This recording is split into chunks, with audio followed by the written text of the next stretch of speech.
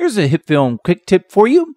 Let's say you had a composite shot, and inside that composite shot, you had a bunch of assets, a ton of them. And let's say that at some point you decided, man, I just want to trim them all, say right here. Boom. Well, you could do that and that and that and just all the way down. Or you could place your trimmer, your slice tool, where you want it, hit the Alt key, and slice them all at the same time. Then you could select all the ones that you sliced and delete them. That simple. Now, what about on the editor timeline? Could you do that? Absolutely.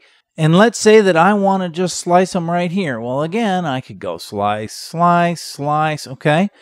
Or I could just hold down the Alt key and slice them all. Then, using the selection tool, I can grab them all and simply delete them. So the Alt Slice technique, quick tip for the day. If you have any questions, leave them in the comments below. Please feel free to subscribe to the channel, click the little bell icon for notification, like this video, and as always, thanks for watching.